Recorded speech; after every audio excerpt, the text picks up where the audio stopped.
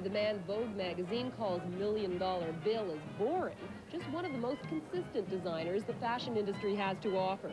After 30 years of creating swanky clothes for America's social elite, Blass has a very good handle on what his customer wants and has little need to stray off into uncharted territory. The collection is, has not really varied in, in maybe in my entire career. I have a certain philosophy.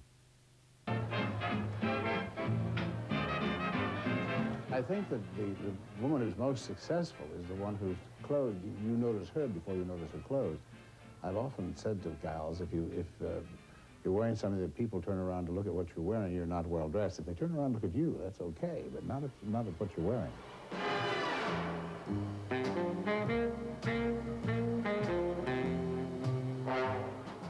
Blass is always willing to suggest what a woman should wear and how she should wear it, he realizes that the days when a designer's advice was followed without question are long gone.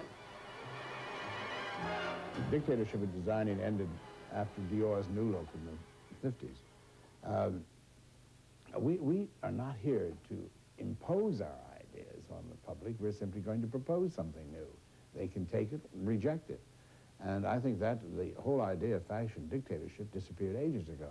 This is the room in which all the tailored clothes are executed one of the new suits.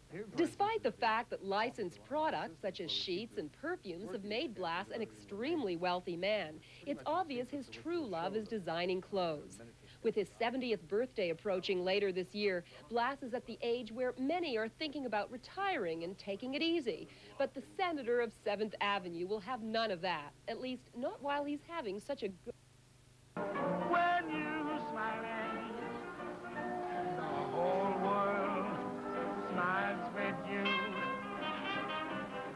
you're laughing.